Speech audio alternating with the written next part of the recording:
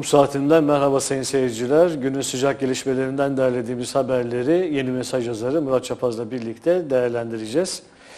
Sayın Çapaz, e, ilk haberimiz aslında dünya yeni bir savaşa doğru mu sürükleniyor? Daha doğrusu savaşlar, bir sürü savaşlar var. Hatta dünya yeni bir dünya savaşına mı sürükleniyor diyebiliriz. Çünkü işte Rusya-Ukrayna arasındaki e, savaş var, Gazze'deki gelişmeler var. Tayvan-Çin arasındaki gerginlik var. Yine İsrail ile Lübnan arasında e, kız, yani sıcak bir gelişmeler oluyor. İsrail şey İran faktörü var yine e, Orta Doğu'da. Böylelikle e, dünyanın birçok yerinde e, savaş her an çıkabilir. Bazılarında da çıkmış zaten. Bu konuyu biraz isterseniz işleyelim.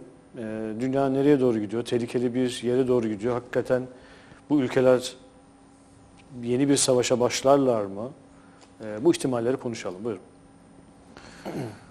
Evet gerçekten bu şu anda e, oldukça üzerinde durulması gereken bir gündem. E, ve Türkiye'de çok yakından ilgilendiriyor. O yüzden e, buna konsantre olmamız gereken bir gündem. ve buna da hazırlık yapılması gerekiyor. Şimdi bakıyoruz sizin de ifade ettiğiniz gibi hani dünyanın dört bir tarafında e, çatışma e, çatışmalar var. Ayrıca de yeni çatışmalar için bir takım gerilimler yaşanıyor. Yani o gerilimlerin her an çatışmaya dönüşme ihtimali var. Ve hemen hemen bu gerilimlerin e, çıkmasına neden olan ülkelerde hemen hemen bütün bölgelerde hep aynı ülkeler. Yani bakıyorsunuz Amerika, hani bugün Ukrayna'dan bahsediyorsunuz, Amerika orada. Evet. Özür dilerim. E, Tayvan'dan bahsediyorsunuz, Çin-Tayvan gerilimi, Amerika orada. Gazze'den bahsediyorsunuz, Amerika batılı evet. ülkeler orada. E, Ukrayna'da bakıyorsunuz, Rusya orada. E, Çin'le bir gerilim yaşansa e, Amerika arasında Rusya orada da olacak. Aslında yani e, Kuzey Kore biliyorsunuz evet. e, Rusya yani bakıyorsunuz e, taraflar hemen hemen aslında perde arkasındaki taraflar hemen hemen aynı. Aslında Amerika'nın olduğu her yerde bir savaş veya da savaş ihtimali var evet, gibi kesinlikle. gözüküyor. Yani aslında burada e, Amerika'nın tutumu biraz bunu buna yol açıyor gibi gözüküyor. Evet kesinlikle. Yani tabii buradaki e, emperyalist duruş, e, küreselleşme mantığı, kaynaklar benim olsun mantığı, her şey benim kontrolümde olsun mantığı aslında bu tür bilek güreşlerinin, bu tür e, savaş ihtimallerinin yaşanmasına sebep oluyor. Özür dilerim biraz boğazlar sıkıntılı. Geçmiş olsun. Şimdi tabii e, değişik ülkelerin liderlerin de yaptığı, yetkililerin yaptığı da açıklamalar da maalesef böyle bir ihtimali güçlendiriyor. Mesela evet. Sırbistan Cumhurbaşkanı Alexander Vucic yapmış olduğu açıklamada daha önce bir açıklama yapmıştı hatırlarsanız. Üçüncü Dünya Savaşı'ndan söz edemem ama büyük bir çatışmadan söz ediyorum diyor. Ne kadar uzaktayız? Bundan çok uzakta olmadığımıza inanıyorum diyor. Allah yani konuşamıyoruz. Üç ya da dört aydan fazla değil ve bunun da yani zaman zaman da veriyor. Yani üç ya da dört aydan daha fazla bir zaman değil diyor. Çok kısa bir zaman yani evet tren istasyonundan ayrıldı ve kimse onu durduramaz diyor. Yani bu kadar keskin ifadeler kullanıyor Sırbistan Cumhurbaşkanı Vucic. Şimdi e, Vucic'in dün de bir açıklaması oldu. Yani yeni bir açıklaması daha oldu. O açıklamada da şunu söylüyor. İkinci Dünya Savaşı'ndan ardından, savaşın ardından en büyük jeopolitik kriz dönemi yaşanıyor. Bak evet. düşünebiliyor musunuz? Yani Birinci Dünya Savaşı, İkinci Dünya Savaşı İkinci Dünya Savaşı'ndan sonra en büyük jeopolitik kriz yaşanıyor şu an diyor. ve büyük bir savaştan bahsediyor. Önümüzdeki aylarda Avrupa ve dünyada mevcut durumun kızışmasını ve çok ciddi sonuçlarla karşılaşmasını bekliyorum. Geçenlerde yani geçtiğimiz haftalarda e, Almanya'dan da bir açıklama gelmişti. Yanlış hatırlamıyorsam Olaf Scholz bu açıklamayı yapmıştı. Yani yakın bir zamanda bir savaş hazırlığı yapılması gerekiyor şeklinde e, bir açıklaması olduğunu hatırlıyorum. Evet. Yani yani Almanya'dan da böyle bir benzer bir Almanya savaş başbakanının evet, böyle bir açıklaması var. Evet. Almanya'nın savunma bakanı da benzer bir açıklama yapıyor. Diyor ki e, Boris e, Pistorius diyor ki Almanya'nın diyor 2029 yılına kadar savaş kabiliyetine hazır hale gelmesi lazım diyor. Evet.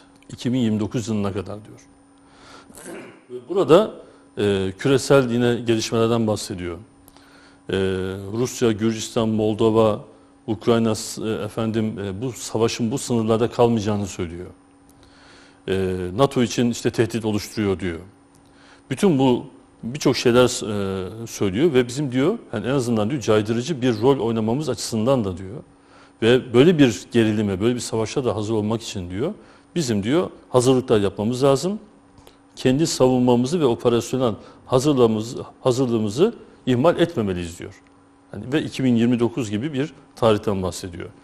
Şimdi tabii e, Ukrayna Savaşı'nda, Rus Rusya-Ukrayna Savaşı'nda tabii ki gerilimin bu noktalara gelmesi, e, şimdi eğer Rusya ile Ukrayna arasında bu gerilim kendi aralarında kalmış olsaydı, belki sınırlı bir şekilde bu olay çözülmüş olacaktı. Yani çok fazla yayılmadan bu olay çözülmüş olacaktı.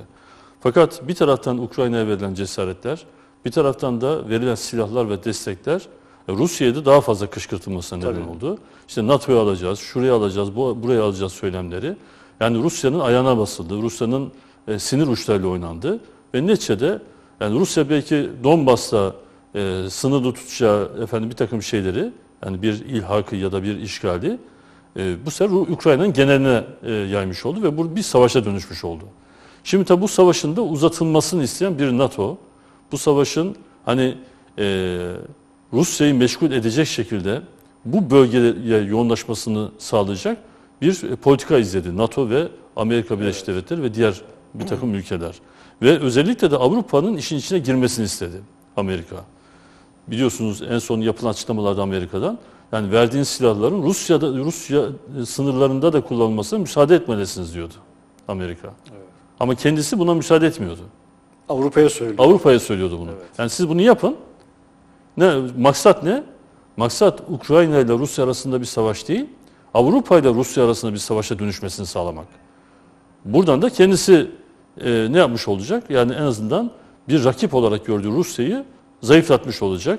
E, bir şeylerle meşgul etmiş olacak. İşte bu gelişmeler karşısında da Putin de belki söyleyeceksiniz onu da yani. Putin'in de tabii sadece Putin'in de değil aslında e, Kremlin yönetiminin de bazı açıklamaları var. Mesela Polonya'ya yönelik çok sert açıklamaları oldu. Almanya'ya yönelik çok sert açıklamaları oldu.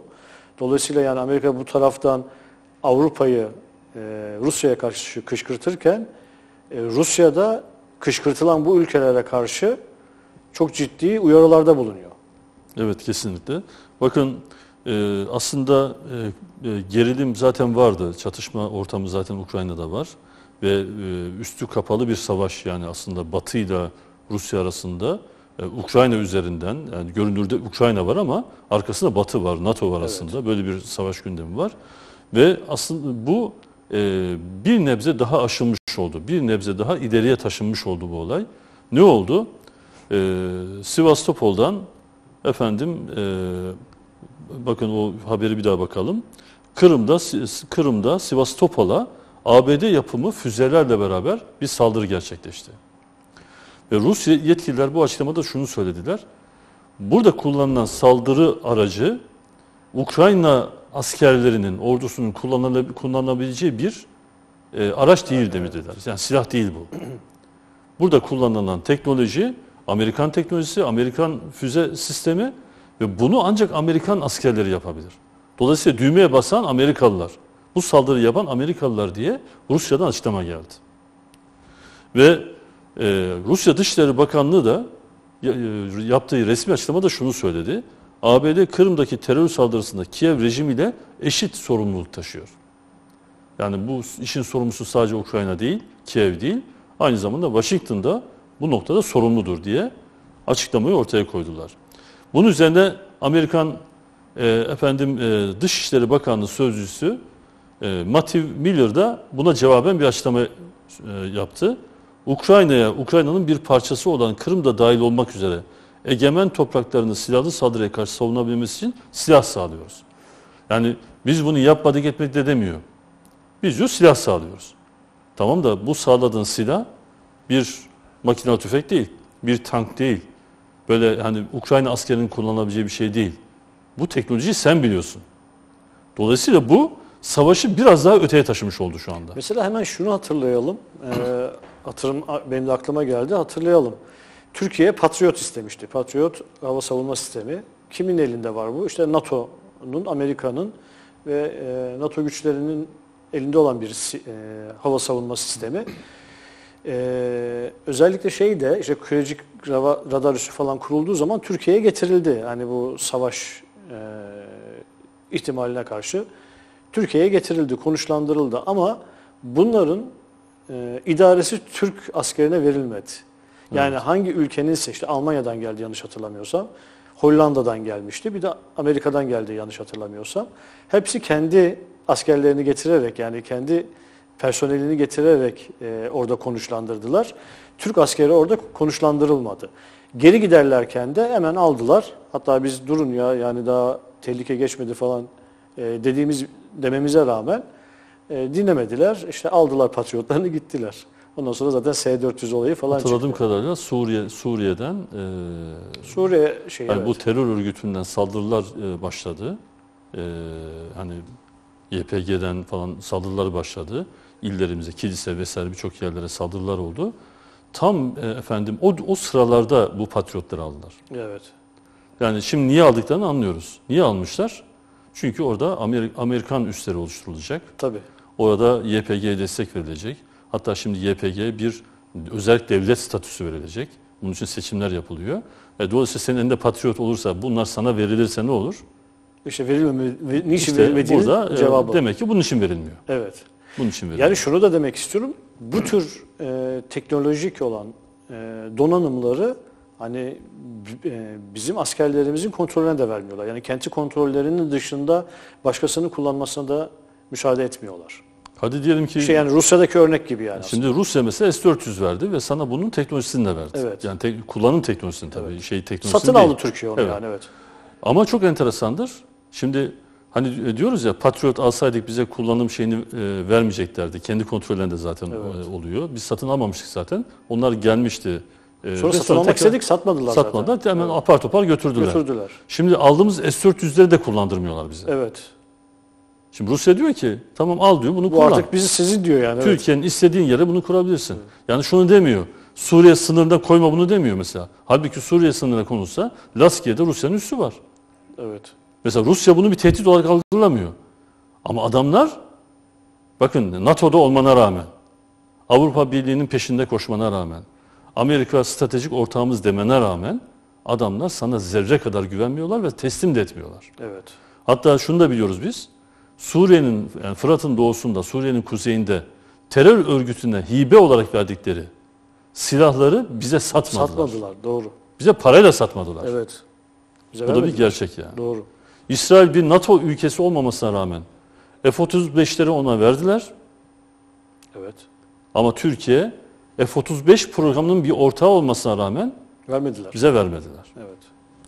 Vermeme gerekçesi olan S-400'de kurmamıza müsaade etmiyorlar. Evet. Bu da enteresan. Dost mu düşman mı şimdi? Evet. evet. Şimdi Böyle dost varken düşmana ne gerek derler, derler ya bir atasözü vardır yani. kesinlikle. Bu Sivastopol saldırısı gerçekleştikten sonra tabii e, hani e, Rusya Devlet Başkanı zaten uyarılarda bulunuyordu. E, Rusya'nın e, güvenliği, Rusya'nın ulusal güvenliği vesaire bunlar sıkıntıya girerse biz nükleeri kullanmaktan çekinmeyiz açıklamalarını Evet. ve uyarıların ikazlarını yapıyordu. Bu Sivastopol saldırısından sonra çok daha sert bir söylemle beraber uyardı. İşte siz onu ifade ettiniz. Ne dedi e, Putin? NATO bizi tehdit etme cüretinde bulunuyor. NATO'da Türkiye hariç hepsini tarihe gömerim. Büyük bir laf. Biz 10 binin üzerindeki nükleer silahı müzede sergilemek için imal etmedik. Vay. Almanya ile bir rövanşımız olacaktır diyor. İşte Almanya'ya çok düş bilemişler evet. Evet. Çünkü Almanya şu Çünkü anda Almanya çok neçede Avrupa dediğiniz zaman Almanya akla geliyor. Almanya'nın Ukrayna'ya verdiği destek de e, ve zaten Rusya'yı hedefliyor. E, dolayısıyla e, bu şekilde e, onu da özellikle ifade ediyor, altını çiziyor. Şimdi Türkiye'yi hariç yani Türkiye'yi özellikle kullanmış herhalde değil mi? Yani kullandığı ifade ediliyor herhalde. tabii yani, Yani e, Türkiye ediliyor. hariç ifadesini kullandığı ifade ediliyor. Evet. Şimdi e, bu gelişmeler yani Almanya'dan bu açıklamalar, Amerika'dan yapılan açıklamalar, e, Sırbistan Cumhurbaşkanı yaptığı açıklamalar ve en son e, Sivastopol saldırısı ve Putin yaptığı açıklamalar. Bunlar Hakan Fidan'a soruluyor. Yani Dışişleri Bakanı Hakan Fidan'a soruluyor. Hakan Fidan'ın verdiği cevap da e, bir haber kanalında önemli. Üçüncü Dünya Savaşı riski var diyor. Türkiye Dışişleri Bakanı Evet. 3. Dünya Savaşı riskinden söz ediyor. Evet bakın Sırbistan Cumhurbaşkanı bile bu ifadeyi kullanmıyor. Evet. Sırbistan Cumhurbaşkanı diyor ki 3. Dünya Savaşı'ndan bahsetmiyorum ama diyor büyük bir çatışma olasılığı var bu 3-4 ay içerisinde diyor. Bizim Dışişleri Bakanımız da diyor ki 3. Dünya Savaşı riski var. Dünya 3. Savaş riskini, e, dü- Dünya Savaşı riskini ciddiye almalı. Biz bunu ciddiye alıyoruz diyor. Tabii sormamız lazım Sayın Fidan'a. Ciddiye alıyoruz. Peki ne yapıyoruz? Evet. Aslında şey e, yakın bir zamanda Bağımsız Türkiye Partisi Genel Başkanı Sayın Hüseyin Baş bu konuda bir açıklama yapmamış mıydı? Zaten e, bu açıklamalar yani şu yapılan açıklamalardan önce zaten Sayın Baş'ın Evet. böyle bir e, tehlikeden bahsettiğini görüyoruz. Evet hatırlıyorum yani. Böyle bir yaklaşım.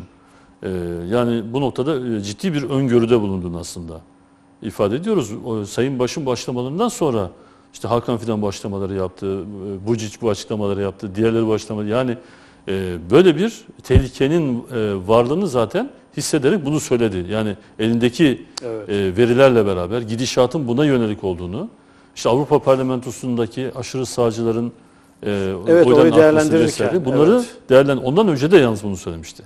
Yani Ha. bu sadece Avrupa Parlamentosuyla alakalı değil bu.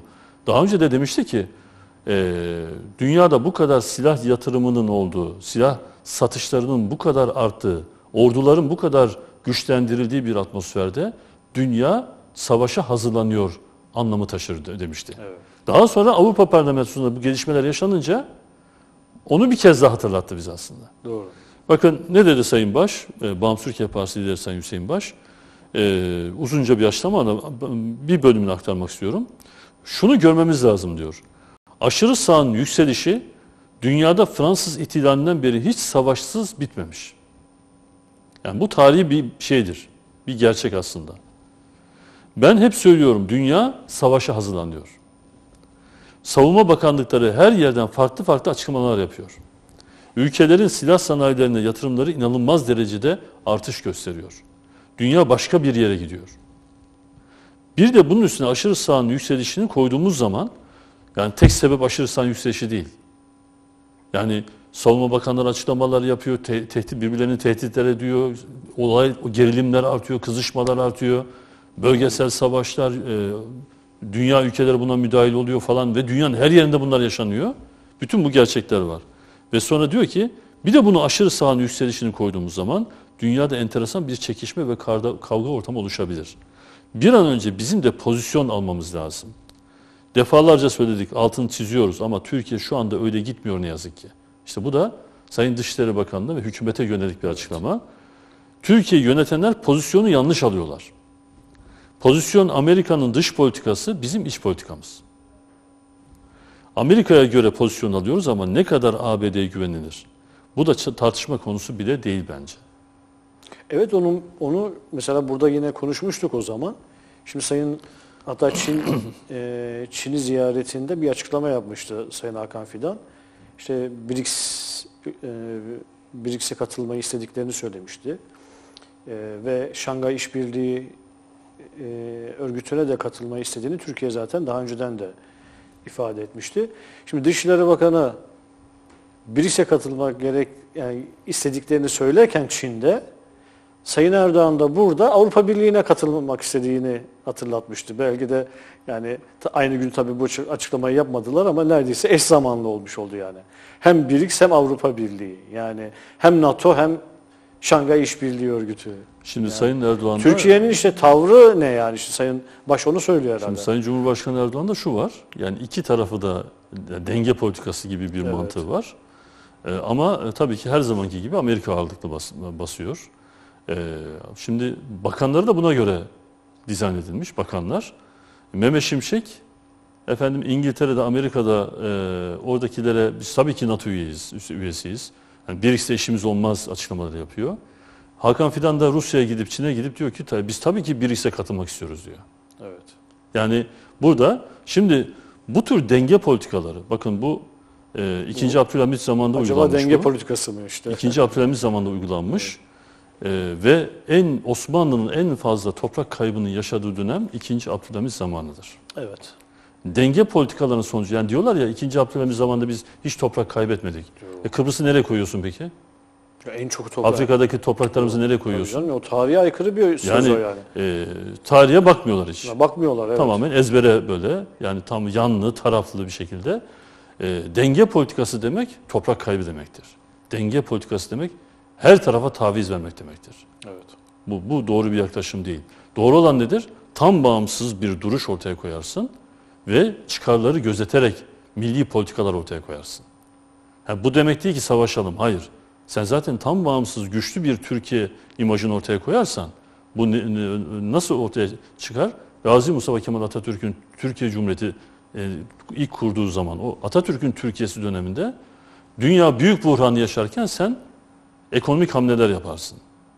Daha sonraki dönemde dünya ikinci dünya savaşına doğru giderken sen efendim o savaşlardan uzak durursun. O şeyi ülkene taşımamış olursun. Dolayısıyla bugün yani, yani denge politikası dediğimiz şimdi hükümetin denge politikası da şu. Yani her iki tarafa da taviz vermek. Ya tabii. Yani her iki tarafın da taleplerini yerine o getirebilmek. denge değil ki işte. Yani o da, Yani o- milli çıkarlar yok yani burada. Yok yani o, ya öyle bir denge olmaz. Öyle bir denge bu bir dengesizliktir. Evet. Yani senin ekonomik olarak şu an paraya ihtiyacın var mı? Var. Sen bu parayı nerede arıyorsun? İngiltere'de, Amerika'da eee, işte fon sahiplerinden bu parayı elde etmeye çalışıyorsun. Nasıl bir denge yürütebilirsin ki sen Şimdi burada? parayı İngiltere'den istiyorsun. Evet. Am- Amerika'dan istiyorsun. Buğdayı da Rusya'dan istiyorsun. Evet. Halbuki para da sen kendi paranı da üretebilirsin. Kendi buğdayını da üretebilirsin. üretebilirsin. Biz kadar. bunu, demek istiyoruz yani. İşte Amerika'dan Patriot istedik vermedi. Rusya'dan S-400 istedik kullanamıyoruz. Evet. E kardeşim- bu, bu denge mi yani? E, sen e, güçlü, tam bağımsız, e, milli bir ekonomiye sahip bir ülke ol. Sen e, hava güvenlik sistemlerini, kara güvenlik sistemlerini sen kur. Tabii. Ve istediğin şekilde oluştur. Kimseye de muhtaç olma. O zaman bak, e, o zaman sınırlarımızdaki tehditlerin ortadan kalktığını göreceksin. Çünkü en büyük caydırıcılık budur. Tam bağımsızlıktır. Bunu da burada ifade etmemiz gerekiyor. Şimdi e, bugünkü gelişmelerden de bir iki şey var. Onları da kısa kısa ifade edeyim. Buyurun. Mesela Almanya Dışişleri Bakanı e, bugün bir açıklama yaptı. Onun açıklaması hani zaten biz başta ne ifade ettik? İşte Rusya-Ukrayna savaşı, Gazze'deki İsrail soykırımı, Batı Şeria'nın ilhak e, projeleri, Lübnan sınırında yaşanan krizler, Çin-Tayvan krizi, efendim e, İran, Yemen, İsrail Sudan, falan evet. yani e, ve birçok yerler yani Afrika ülkelerindeki birçok yerler yani her tarafta bir şey var. E, Şimdi Rus e, savaş gemilerinin de Küba'ya gittiğini görüyoruz değil mi? Venezuela, Küba'ya o taraflara gittiğini görüyoruz. Yani dünyanın her tarafında bir gerilim şu anda yaşanıyor. Bu e, Almanya Dışişleri Bakanı'nın yaptığı açıklama da daha çok Lübnan ve İsrail özelinde. Diyor ki eğer diyor İsrail ve Lübnan e, kendisi İsrail'e gitti. Oradan e, Lübnan'a geçti. Lübnan Dışişleri Bakanlığı'yla görüştü. Ve dedi ki eğer dedi e, ateşkes anlaşmasına varılmazsa İsrail e, Gazze'de bir ateşkes olmazsa bunun herkes için tehlike oluşturacağını, bunun sadece Lübnan, İsrail değil, sadece Gazze değil tabii, Lübnan'da da hani Hizbullah'la da ateşkesten bahsediyor. Bölgesel bir savaş projesini kapsadığını ifade ediyor. Yani bu savaş bölgesele dönüşecek diyor. Şimdi Lübnan-İsrail savaşının bölgesel bir savaşa dönüşmesi bölgede kalmaz. Evet. Şimdi Hizbullah'la e, e, çatışma devam ederse bu bölgesel bir çatışma olur. Bölgesel çatışma da dünya savaşına dönüşür. Çünkü e, İsra- İsrail açıktan daha kapsamlı bir şekilde Lübnan'a saldırmaya başlarsa İran buna kayıtsız kalmayacaktır. İran'ın kayıtsız kalmadığı bir atmosferde Amerika zaten desteğini açıkladı. Amerika işin içine girecektir. Amerika işin içine girdiğinden Fransa, Almanya, İngiltere işin içine girecektir. Onlar girdiği zaman Rusya İran'a desteğini açıkladı. Rusya için içine girecektir. Rusya'nın girdiği yerde Çin kayıtsız kalmaz. Çünkü Çin'in de Orta e, Doğu'da Çin de aynı zamanda var. İran e, petrol deposu Çin için. Yani petrol kaynağı. O, ve sınır o da e, mecburen işin içine girmek zorunda kalacaktır. Yani bu ne demektir? Yani Lübnan İsrail e, savaşı dünya savaşına dönüşebilir. Burada Türkiye Ukrayna- var. Evet. Ukrayna-Rusya savaşı dünya savaşına dönüşebilir. Çin-Tayvan savaşı dünya savaşına dönüşebilir. Şimdi ihtimaller o kadar çok ki. Bakın şey de var mesela şu an hani az önce, az önce siz bahsettiniz onu ama hani fazla üzerinde durmadık. Şu an Suriye'nin kuzeyinde bir seçim yapılmaya çalışılıyor. Ee, PKK, YPG, şey PYD şeyinde yani özel bir Kürt, Kürdistan gibi bir şey yani Irak'taki bir şeyinde Suriye'nin kuzeyinde. Türkiye şiddetle buna karşı olduğunu açıkladı. Ve Amerika'da bunu e, bu seçimin zaten hani yapılmasının organizasyonu Amerika yapıyor. Türkiye'nin bu hani şiddetle karşı olmasından dolayıdır herhalde. Amerika bunu erteledi ama Türkiye iptal edilmesini istiyor. Yani bakın burada da bir aslında bir gerilim var yani. Evet. Peki bu e, hani Türkiye'nin bu talebi karşılanacak mı? Karşılanmayacak. Yani, Yani zaman zaten Amerika, Amerika'nın buradaki e, Suriye'deki varlığının e, izah edebilmesi için Amerika yani bunu legal diyemiyorsun zaten. Bu seçim de legal değil. tabii Suriye devletinin onayı olmadan böyle bir e, se- seçimden bahsedemezsiniz. Dolayısıyla bu seçimi ben yaptım oldu diyecek. Burada işte böyle bir e, devlet, özel devlet veya devlet kurulu diyecek. Ben de bu devletin izniyle ben burada kalıyorum diyecek. Yani bunu izahını yapmaya çalışıyor. evet. Şimdi e, Irak'ın kuzeyindeki üslerini de buna göre izah ediyor. Suriye'nin kuzeyinde de bu şekilde izah edecek. Başka yerlerde yaptığı işgallerde de bu şekilde izah ediyor. Yani hükümet beni istiyor, beni talep ediyor diyerek kalıyor. Özel özel hükümet Evet. yani evet. Yani talep etmiyorsa o devlet talep edecek ve özel bir bölge oluşturuyor. Ondan onay alıyor. Aldırtıyor, o kararı aldırtıyor. Ama yani aslında çok dediğiniz gibi yani bu e, hiç hukuki bir şey de değil. Yani özel bir bölge olabilmesi için oranın Suriye hükümetinin orada yani e, yasalarında, anayasasında oranın tanımlanması gerekiyor. Evet. Yani sen kendi kafana göre ben şurayı çevirdim. Artık burası bundan sonra burası işte özeldir. Hangi hukuka bunu uyduracaksın ki? Yani Suriye'nin e, yüzde 70 olan petrol rezervlerini şu anda çıkartan Amerika'dan bahsediyoruz. Evet.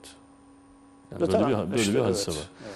Yani hukuku zaten e, Tanı, bu zaten şey tanı- yapmıyor. tanımıyor. En son tabii e, İsrail e, Savunma Bakanı e, efendim Yoav Gallant Amerika'ya gittiler. Orada Amerikan Savunma Bakanı Austin'le görüştüler. Tabii e, şimdi haber şu. Amerikan Savunma Bakanı e, İsrailli yetkiliye nasihatte bulunuyor. Yani görünen kısmı bu yani. Deniyor ki bakın diyor İsrail-Lübnan sınırında artan gerginlikte diyor aşırı derecede endişe duyuyoruz diyor. Ve bu orta, e, ve cümlesi aynen şöyle. İsrail ile e, Hizbullah arasındaki olası bir savaşın kolaylıkla Orta Doğu açısından sonuçları olabilecek bölgesel bir savaşa dönüşebileceğini ifade ediyor. Ve bu diyor Lübnan için felaket, masum İsrailli ve Lübnanlı siviller için yıkıcı olacak diyor. Yani İsrail-Lübnan savaşının bölgesel bir savaşa dönüşeceğini sadece Almanya söylemiyor. Amerikan Savunma Bakanı da bunu söylüyor. Evet. Ve bunu İsrailli yetkiliye söylüyor. Dolayısıyla diyor diplomasi diyor. Yani diplomasiyi yönetin, gerilimi önlemenin açık ara en iyi yoldur diyor diplomasi. Ama İsrail de Şimdi- tabii aslında zaten gerilimi tırmandırmayı istiyor zaten. Şimdi ben bu açıklamadan şunu anlıyorum.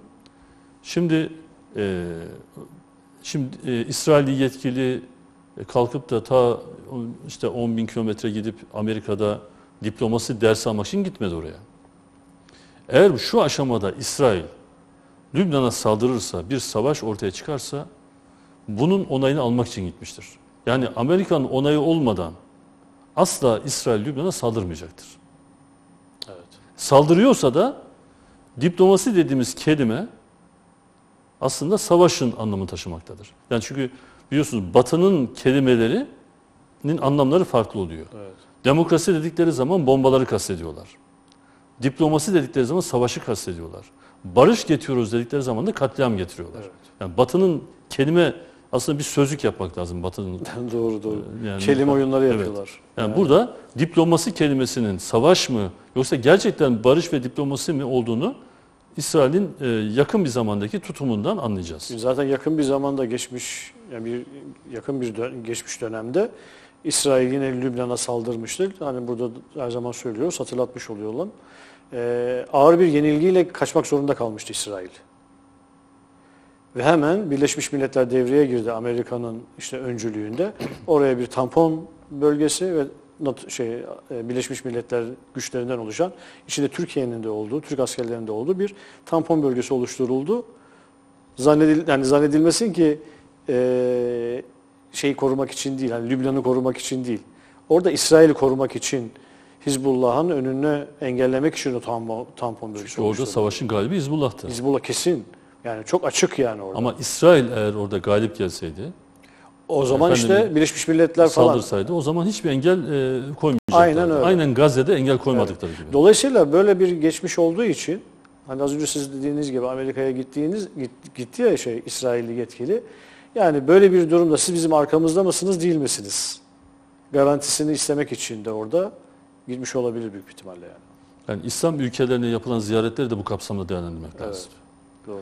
Bakın bu coğrafyada İslam ülkele, ülkelerine rağmen e, bir savaş olmaz. Amerika'ya rağmen bir savaş olmaz. Dolayısıyla normalleşme anlaşmalarının da e, mesela Gazze Savaşı'ndan önceki ziyaretlere bir bakalım. Kimlerle görüşülmüş? İsrailli yetkililer Evet. hangi yetkililerle görüşmüş? Evet. Kimlerle oturup böyle şakalaşmışlar? Diyaloglar kurmuşlar, normalleşme anlaşmaları imzalanmış, beraber fotoğraflar vermişler. Bunlar hep onay fotoğraflardır. Yani bunu da unutmamak lazım. Yani burada şey Şu şu anda var o zaman. benzer bir şey yaşıyoruz Tabii aslında. doğru. Yani e, ben kazanırken istediğimi yaparım. Yani siz o zaman hani kimse bana dokunmasın diyor İsrail. Ama olur da ben hani e, kaybetmeye başlarsam hemen benim yardımıma gelin. Anlaşmaların çerçevesi bunu kapsıyor aslında yani. Evet, yani kesinlikle. Evet şimdi madem İsrail'den konuşuyoruz, e, kısaca o habere de değinelim. Şimdi tabii İsrail, Kısaca diyoruz ama bir türlü kısaca yapamıyoruz. Şey, aslında Konular- şeye de değinmek istiyoruz. Evet önemli. yani bugün Cumhurbaşkanı Cumhurbaşkanı Erdoğan demeyeceğim. e, AK Parti Genel Başkanı diyeceğim. Grup toplantısı vardı. Çünkü grup, Cumhurbaşkanı grup toplantısı olmaz aslında. E, AK Parti Genel değineceğiz. Evet ona da değinmeye çalışıyoruz. Onun için kısaca hani e, yapabilirsek, başarabilirsek bu İsrail gündemini değerlendirelim. 42 yedek asker Gazze'de savaşmayı reddetmiş. Şu an İsrail'de bu tür şeyler, haberler çokça duyuluyor. E, hatta e, darbe falan söylentileri bile e, çıktı. Yani e, hükümete karşı darbe ihtimali, darbe tehlikesi falan. E, ve askerlerde de ciddi bir rahatsızlık olduğu gözlemleniyor. 42 tane yedek askerde savaşmayı reddetmiş. Buyurun. Şimdi burada tabii e, hani savaşmayı reddetmelerinden ziyade beni e, asıl e, dikkatimi çeken burada yaptıkları açıklamalar. Aslında bunlar hepsi bir itiraf. Yani ordunun içinden yapılan itiraflar bunlar. Bir mektup yazmışlar. Yani bunlar ortak bir mektup yazıyorlar ve bu mektupta e, mektupta da e, Gazze'deki savaşa, Refah'taki saldırılara katılmayacaklarını ve bunları reddettiklerini ifade ediyorlar. Ve ardından da gerekçelerini söylüyorlar. İşte o gerekçeler çok önemli. Evet. Çünkü biz hani medya şunu söylüyor, Birleşmiş Milletler bunu söylüyor, dışarıdan işte Lübnan basını bunu söylüyor, Filistin yetkililer şunu söylüyor. Hayır, İsrail askerler bunu söylüyor şu anda. Bakın ne, ne diyorlar? Diyor ki bu saldırı, yani Refah için saldırıdan bahsediyor askerden bir tanesi. Bu saldırı bizim Refah'taki masum insanların hayatını tehlikeye atmanın yanı sıra kaçırılanları da canlı olarak geri getirmeyecek. Refah mı kaçırılanlar mı? Biz kaçırılanları seçiyoruz. Yani şunu demek istiyor. Biz istifa etmemizin nedeni diyor, yani bu işi reddetmemizin nedeni diyor. Biz kaçırılanlar yani esirlerin serbest bırakılması, ateşkesi tercih ediyoruz. Ama İsrail neyi tercih ediyor? İsrail esirleri tercih etmiyor. Refah ile geçirmeyi tercih ediyor. Evet. Demek ki esirlerle alakalı, yani buradan ne çıkartıyoruz? İsrail'in esirlerle alakalı hiçbir düşüncesi yok. Evet. Başka? Bakın bu askerler 16'sı istihbarat biriminde görevli. Hmm. 7'si iç cephe komutanlığında. İkisi özel kuvvetlerde. Yani zırhlı birlikler, istihkam, piyade birlikler. Yani birçok yerlerde görev almış bu askerler. Ama 16'sı istihbaratta görev almışlar. Yani şeyler de e, önemli yani. Ve mesela bir e, Yofel Garin şunu söylüyor. 26 yaşında bir paraşütçü tugayında görevli bir asker. E, İsrail askerlerinin Filistin evlerini yaktığını a, a, söylüyor. Takım komutanının içinde Filistin'in Filistinli sivillerin bulunduğu bir evi yakma emri veriyor. İçeride siviller var. İsrail ordusunun kırmızı çizgiyi aştığını ve oradan ayrılma zamanı geldiğini düşündüm diyor. Yani içindeki masum sivillerle yakmamızı emretti diyor. Sonra komutana dedim ki diyor burada Hamaslılar mı var içeride? Bana diyor cevap doğru cevap veremedi ve verdiği cevap da diyor ben diyor ikna olmadım diyor. Dediğiniz gibi bundan bir itiraf niteliğinde. Evet. Yani onun için önemli bunlar. Yani çoluk çocuk kadın bilmem ne komutan diyor ki yak bu evi. Onlar da yakıyorlar. Nasıl vicdansızlık. Onun dışında başka bir itiraf da şu. Mesela İsrailli 29 yaşındaki e, e, Michel Ofer Ziv. İsimleri de var yani. Diyor ki İsrail savaş uçakları diyor Gazze'yi diyor bombalıyor. Zaten o bombalama, bombalanan yerleri gördüğümde diyor kafam karıştı zaten diyor. Yani o şey hadiseyi gördüğümde. Neyin gerekçeli, neyin gerekçesiz olduğunu belir- belirlemek çok zor. Savaşta 30 bin kişi doğrudan öldürmüyor ama çoğu hava bombardımanlarında enkaz altında kalıyor. Yaşanan şey rastgele ateş açmaktır diyor. Yani İsrail diyor rastgele sivillerin yani bir operasyon yok. Evet. Hamas'la bir mücadele yok. Rastgele diyor bombaları yağdı. Bu- Biz bunları söylüyoruz ama bunu İsrail asker söylüyor ve Evet. ben bunu yapmayacağım diyor yani. Evet. Ben buna istifa ediyorum diyor. Dolayısıyla bu tür örnekler çok. Yani şu anda e, İsrail gerçekten e, hani Birleşmiş Milletler'de de zaten bu gündem var. E, büyük bir soykırım suçu işliyor. Ve bu soykırımı da destekçilerinden bir haber yapmıyor. Yani biz şunu görüyoruz değil mi? E, e, ya İsrail işte bak sivilleri öldürürken dikkatli ol, öldürme yani. Bak refahı bombalama. Şuraya gitme, buraya yapma. Ama gidiyor adam. Sana rağmen mi yapıyor bunu? Hayır, sana rağmen yapmıyor. Yani Amerika'ya rağmen, Fransa'ya rağmen, Avrupa Birliği'ne rağmen yapmıyor bunu. Onların desteği olmasa bunları yapamaz zaten. Tabii ki. Dolayısıyla şu anda İsrail bütün bu İsrail'in bütün bu soykırım suçunda ona destek olan bütün batılı ülkeler de bu suçu ortak. Kesinlikle. Zaten o uçaktan hani bombalardan bahsettiniz. O bombaların zaten tamamını Amerika Birleşik Devletleri verdi. Bir de işte ateşkes mesela çağrısı yapılıyor acil. Kim karşı geliyor? Kimin vetosuyla engelleniyor ateşkes? Bir bakıyorsunuz Amerika'nın. Hani ilk günlerde işte İngiltere falan böyle bazı ülkeler de şey yaptılar. Hani e, İsrail'i destek desteklemek için işte ateşkese karşı çıkmışlardı ama İsrail'in yaptıkları artık hani e, tahammül edilemez boyutlara gelince sadece Amerika Birleşik Devletleri kaldı. Des, yani o reddeden ateşkesi. Diğer ülkeler çekimsel falan kalmışlardı hatırlarsanız. Dolayısıyla yani Amerika zaten Birleşmiş Milletler bununla ilgili yaptırım kararı almak istiyor. Bir bakıyorsunuz engelleyen Amerika Birleşik Devletleri. Dolayısıyla dediğiniz çok doğru. En son refahla alakalı mesela şu var. Hani refahla alakalı ne diyordu? Eğer refahta böyle kapsamlı bir saldırı yaparsanız silah desteğimizi ve bütün desteklerimizi keseceğiz dedi Biden. Evet. Amerikan başkanı ve Amerikalı yetkililer. Daha sonra da refah saldırı yaptı. Çadırları bombaladı, evleri bombaladı, koridoru ele geçirdi, kent merkezine de geçirdi, evleri yaktı, yıktı. Amerika'dan yapılan açı- açıklama şu. Kapsamlı bir saldırı olduğu konusunda ikna olmadık. İşte Şimdi ben de diyorum ki o Sayın Biden'a tabii anlayabiliyorsa bilmiyorum ama Amerikalı yetkililere ben de diyorum ki biraz önce okuduğumuz itiraflar yani İsrailli askerlerin itirafları Haaretz gazetesinde yayınlandı. Eğer delil arıyorsanız Yahudi gazetesi olan Haaretz yani İsrail gazetesi olan Haaretz gazetesini açıp okusunlar. Orada zaten refah saldırıların sivillere yönelik olduğu ve kapsamlı olduğunu zaten askerler anlatıyor. yani Amerika'nın delil falan aradığı Ha, yok zaten. Zaten yok. Zaten yok evet. O yüzden bu suç ortaktır. Evet, çok doğru. Evet, şimdi e, bugün az önce söylediğimiz gibi e, Sayın Erdoğan, AK Parti Genel Başkanı Erdoğan, grup toplantısında birçok konuya değindi. Bugün grup toplantısı vardı. Fakat enteresan olan tabii açıklamalardan açıklamalar, şimdi normalleşme süreci vardı Cumhuriyet Halk Partisi ile aralarında falan, işte karşılıklı ziyaretler oldu vesaire. Ee, burada Erdoğan'ın ifadeleri yani bu normalleşme ile ilgili hani giden şeyi artık sanki durdurdu gibi. Yani normalleşme artık sekteye mi uğradı? E, çünkü ağır ifadeler kullandı Sayın Erdoğan.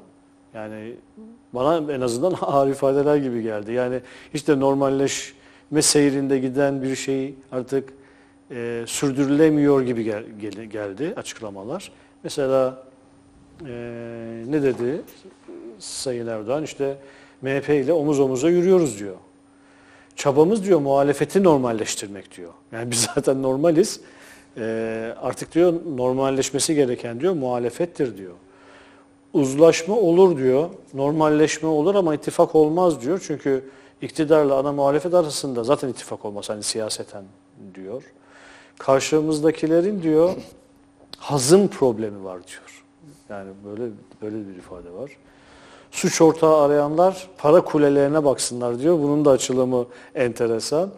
Ee, çünkü MHP ile CHP'nin arasındaki işte suç ortağı atışmasında şu an Sayın Erdoğan buna değinmiş oldu ve e, Cumhuriyet Halk Partisi'ni bir şeyle suçluyor burada ve başarı hikayemizi diyor Cumhuriyet Halk Partisi'ne ortak etmeyiz diyor. E, sanki çok büyük bir başarı hikayesi varmış da Cumhuriyet Halk Partisi de oradan hani pay kapmaya çalışıyormuş gibi bir görüntü çizdi AKP Genel Başkanı. Bu arada bugün e, Erdoğan'la Devlet Bahçeli de görüşme yaptılar. En son 29 Nisan'da 10 Mayıs'ta da görüşme yapmışlardı. Bugünkü görüşmelerde yaklaşık bir saat sürdüğü söyleniyor. Ama bir açıklama yapılmadı. E, böyle bir gelişme var gündemde. Buyurun. Evet. Şimdi tabii e, Sayın Özel'in e, Sayın Erdoğan'a Cumhurbaşkanı'na ziyareti oldu. Cumhurbaşkanı'nın bir iade ziyareti oldu. E, efendim e, sıcak mesajlar verildi. Normalleşme sürecinden bahsedildi. E, tabii bundan rahatsız olan bir MHP var. Sayın Bahçeli bundan son derece rahatsız oldu. Ve ardından e, tabii madem ki bu kadar samimisiniz, normalleşiyorsunuz, o zaman ben engel teşkil etmeyeyim. Hı, ittifak yapın diyor. Yani siz ittifak yapın, Evet. ondan sonra e, devam edin gibi böyle bir e, hani küskünleri oynayan bir e, şey açıklama çizdi, yapıldı. E, dolayısıyla e, bun, bu, ondan sonraki gelişmeler zaten yani bu ittifak kurun AKP CHP ittifakı kurun açıklamasından sonra öz, e, özel zaten o suç ortağı e, ifadesini ki suç ortağı dediği de e, Sayın Erdoğan yani AKP Evet. e, suç ortağını da al işte bir şey yap falan gibi. Yani e, orada gerilim başladı zaten. Yani söylemlerde zaten hani bir normalleşme zaten yoktu da karşıda gidiş gelişler olmuştu. E, tabi burada işte Mehmet Şimşek'le yapılan e, CHP heyetinin görüşmesi ve ardından yapılan açıklamalar da e, gerilimi e, tırmandırdı. Ama burada mesele şu.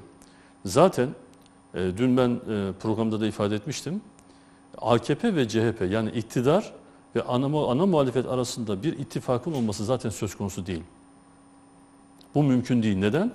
Çünkü AKP 22 yıllık iktidarını CHP'ye, CHP de 22 yıllık ana muhalefetini AKP'ye borçlu. Evet. Yani dolayısıyla bunlar e, birbirlerini Niye- bu kayıtçı yani- kavgaları devam edecek ki Tabii. Konumlarını Ee, korusunlar. konumlarını koruyabilsinler. Yani gerekçesi bu. Bundan dolayı ittifak kuramazlar. Peki neden görüştüler? Neden görüşüyorlar? Zaten görüşmelerin nedeni yani normalleşmeden kastettiklerini zaten ne kastettiklerini az çok anlayabiliyoruz. Sayın Erdoğan'ın yaptığı açıklama bir ittifak değil bu yani. Ee, dolayısıyla siz de ifade ettiniz. Yani burada bir ittifak söz konusu değil diyor zaten. Ve tekrar MHP'ye pas atıyor değil mi? Ee, şimdi burada e, mesele şu. Ee, buradaki görüşmeler yapılan yani aslında MHP'yi MHP'yi de rahatsız eden görüşmelerin sebebi e, yeni anayasa ve Cumhurbaşkanlığı seçimlerindeki bir takım hususların değiştirilmesi. Bence birinci derecede de bu var. Yani Cumhurbaşkanı 50 artı, 50 artı 1 formülü. Ama diyeceksiniz ki Sayın Ömer Çelik yaptığı açıklamalarda, Numan Kurtulmuş yaptığı açıklamalarda 50 artı 1 e, kuralına uyacakları, bunu değiştirmeyeceklerini açıkladılar e, deniyor. Elbette ki bunu açıklayacaklar. Bu şekilde açıklayacaklar. Ama şu bir gerçek ki Sayın Erdoğan şu anda 50 artı 1'den rahatsız. Neden rahatsız? Çünkü 50 artı 1 formülü e, AKP hükümetini MHP'ye mecbur kılıyor. Mecbur kıldığı için de yeni anayasada bu sefer yani yeni anayasa kapısı açılamıyor. Ama yani böyle bir Evet. denklem var. Evet. Uzlaşamıyorlar bazı konularda. Ha, ama şu var, yeni anayasa konusunda CHP ile daha çok ortak noktaya sahipler. Şu anki CHP yönetimiyle. Daha çok ortak noktaya sahipler. Mesela Sayın Özel bunun pasını verdi zaten değil mi? Dersim'e selam durdu. Sayın Demirtaş dedi. Şeyh Said'e güzellemeler yaptı.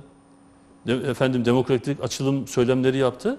Yani baktığımız zaman e, yeni anayasada ilk üç maddeyle alakalı, Türklük tanımıyla alakalı konularda e, MHP'den çok daha fazla CHP ile uzlaşı sağlayabilir AKP. Bence normalleşme dedikleri şey bu. Normalleşme dedikleri AKP CHP ittifakı değil. Bir de muhtemelen Ve şu, bakın şunu söyleyeyim. Şu anda bu atışmalar yaş- yaşanıyor ya. Bu atışmalar yaşanırken bile yeni anayasa konusunda ve 50 artı 1 konusunda görüşmeler devam ediyor. O konuda mutabıklar. yani olabilir bence de. Yani şu- burada şey yok. Yani sanki öz- şimdi Özel zaten Erdoğan'ı eleştirecek. Bu muhalefetin görevi. E, Erdoğan da Özel'i eleştirecek. Bu da iktidarın dayanağı. Tabii. Ama burada bunu biz yeni anayasa için yapıyoruz demez. Bunu biz bir de 50 artı 1 için yapıyoruz demez. Çünkü Cumhur İttifakı dağılır. Tabii. Denklem bu.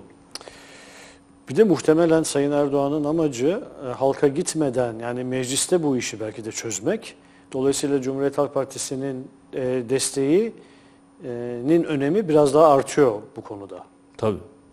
Yani sadece e, MHP'nin şey yetmiyor. yetmiyor tabii yani sadece MHP ve Artık AKP MHP de zaten şerh koyuyor şu an belli Evet. noktalarda. tabii. Dolayısıyla burada Dolayısıyla yani referanduma gitmeden yani millete gitmeden meclise bu işi çözmen, çözmek Sayın Erdoğan için en iyi ideal e, olasılık. Dolayısıyla da Cumhuriyet Halk Partisi ile bu normalleşmelerin altında dediğiniz çok doğru bence de. Bu yatıyordur.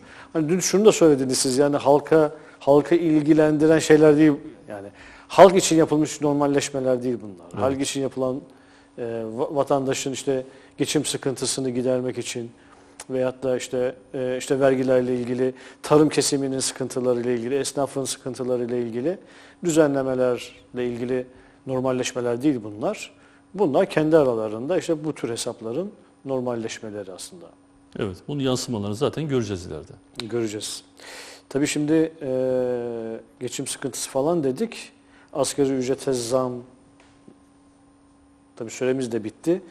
E, asgari ücrete zam var mı yok mu? Evet bugün Çalışma Bakanı bizzat kendisi açıkladı. Hani sürekli birileri bir şeyler açıklıyorlardı ama Çalışma Bakanı bugün aslında bir daha açıklamış oldu.